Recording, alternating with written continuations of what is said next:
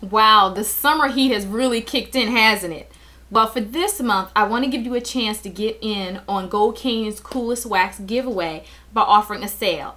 For this month, for the next two weeks, I'm going to be offering our 16 ounce heritage candles and a three pack of um, a bundle of three scent pods at discount prices.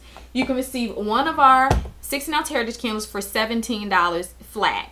Um, and each 16 ounce candle and scent pod all have the little coolest wax sticker on it for you to um, peel off and reveal the discount underneath. And then you have to burn your candles or warm your scent pods to see if you have one of Gold Canyon Summer Sun game pieces inside, indicating that you won a special prize. They're giving away vacations, um, electronics, and also up to $5,000. So it's a great promotion.